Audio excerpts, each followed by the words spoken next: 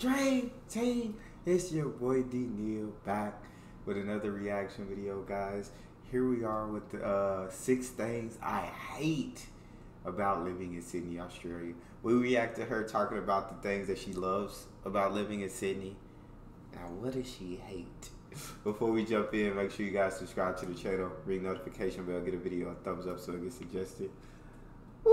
And welcome back to another video which is about Australia. This one is six things that I hate about living in Australia. So if you haven't already seen it, I have made another video and it's 15 things that I wish I knew before I moved to Australia. I'll link it at the top if you haven't seen it. Do go and check it out. Now, I didn't feel like I was complaining that much in this video, but a lot of the comments seem to disagree with me pointing out that I'm a whinging pom. So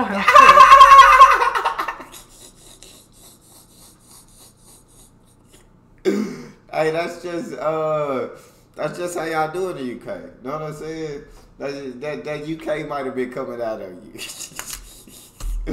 but uh, I think I watched that video, and I don't think she complained that much either. But uh, I guess people disagree. Disagree with me and are pointing out that I'm a whinging pom.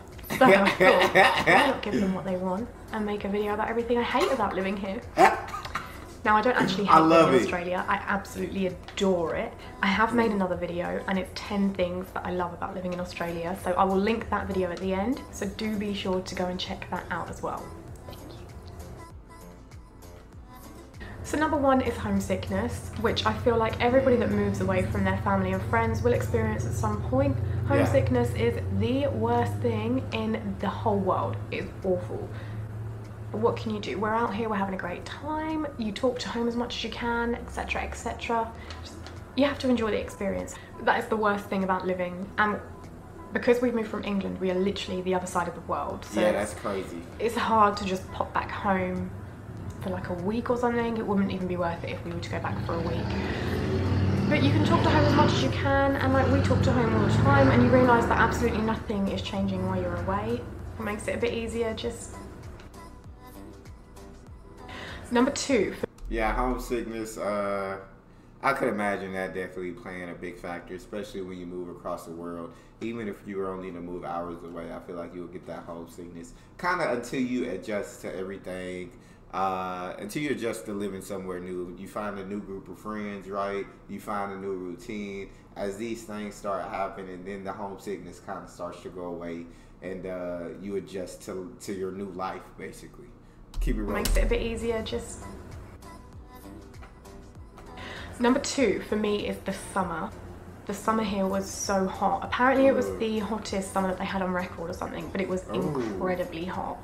So we used to go to the beach kind of first thing in the morning so we could still get out, play in the water and everything before the midday sun we used to sometimes go out for lunch around obviously 12 o'clock and you'd see people running up and down the seafront when it's like peak heat and you think I don't know how you're doing this. Like how are you not passing out? It's crazy. I suppose you adjust and you do get used to it but for me it was too hot. Yeah. Yeah yeah now you hear that with a lot of people say that about summers in Australia right? Uh, you got the roads melting freaking seatbelts will give you third degree burns. Uh, it's just too hot out there, bro. It's just too hot. Uh, you gotta figure out a way to, to, to stay out of that sun. That sun is deadly. Deadly. Number three is the high cost of living. So everything here is really expensive. I think apart from public transport randomly, everything's really expensive. The first thing we were shocked by when we came here and we went to get some dinner, a pepper or a capsicum, as you guys like to call it, it cost over $3 and we thought, what the fuck? How are you justifying spending this much on vegetables? But with that being said, you do earn more money here, so it is all relative, but it's still expensive. Yeah. And I think y'all had said something about uh, it just depends on what seed. The prices change according to the seasons, according to what what veggies, what fruits grow well during those seasons. So it could be three dollars at one period, could drop uh, very drastically if, if it's in season. And so I believe that's what somebody said in the comment section. More money here, so it is all relative, but it's still expensive. Number four is food. So, although they have some incredible food, there are some foods that we don't really eat here because it's not the same as what we had in England.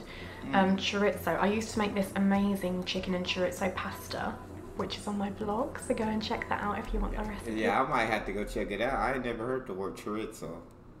That sounds like it could be good. chicken and chorizo pasta, which is on my blog, so go and check that out if you want the recipe. It's delicious. The pasta was incredible, and the chorizo is the best part of the dish. But then we came here and we brought some chorizo, and it's just kind of soft and it's just like a sausage. It's not the same in mm. any way whatsoever. And I've tried cooking it in different ways, and it, it just isn't the same. Chocolate Yeah. isn't the same. So anytime you've had a visitor, we've asked them to bring chocolate. And also, my dad and James's mum have both sent out chocolate boxes to feed our bellies. But it is quite good in a way that the chocolate isn't as enjoyable as England because we don't eat as much of it, so we kind of eat healthier. So I think I do have to disagree on this. I haven't tried all the chocolates from both countries, but I've tried chocolate from both countries. Or actually not both countries. Yeah, from both countries. It is.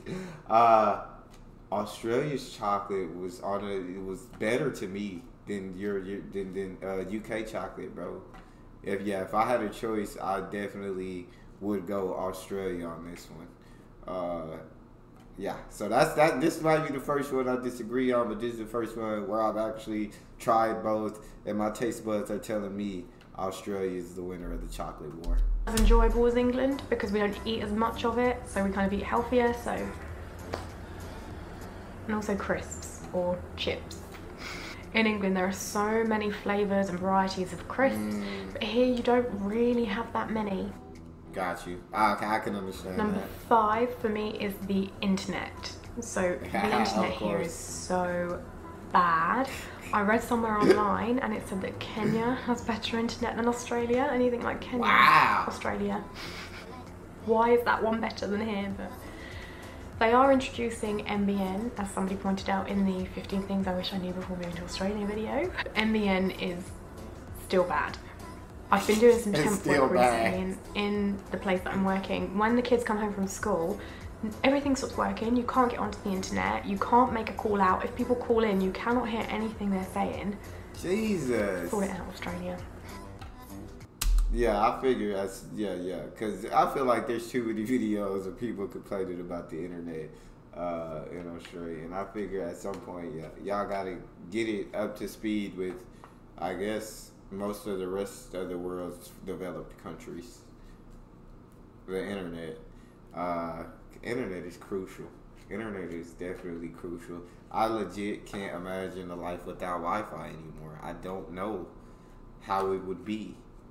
I it's and it's crazy to think that, but I don't know how I could survive without it at this point. I cannot hear anything they're saying. Sort it out, Australia. And lastly, bugs.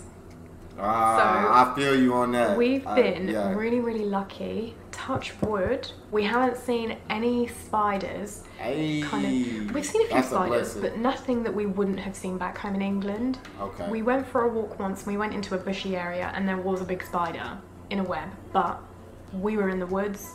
That's where bugs live and things. So I'm not counting that. We haven't had any in our flat. I'm really touching wood because I don't want to see any at all. We haven't seen any snakes. But these are probably just the location of where we're living, Yeah. which is why there's probably not many snakes around here anyway. I don't really know. I haven't seen any, that's all I care about. the main problem that we get is flies. There are a crazy amount of flies, it's ridiculous. And cockroaches. So we have had I can't even tell you how many cockroaches we've had in here. They've been like babies, adults. When we moved in, we didn't have fly screens, and it was summer. So in the evening, when it was a bit cooler, we wanted to open the windows. You'd get these cockroaches flying in, and we'd think, Jesus. close the windows. Then we got fly screens, so now we keep the windows open all the time. Doesn't stop the cockroaches coming in, and I don't know how they come in. No idea. I've pulled everything out before, hoovered everywhere. I haven't ever seen any cockroaches when I was doing that, so I don't know where they hide in the day. Don't know how they get in, but they're horrible. They just find a way.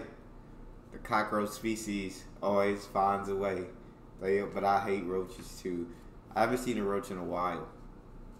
In a while, but I can't stand seeing those things, man. Uh, flies. I, I don't think anybody in the world likes flies. Flies just suck. If they just suck. Point blank. Period. Flies suck. So that is six things that I hate about living in Australia. Now I don't hate living in Australia, I actually really love it. It's, it's amazing, it's been an amazing experience.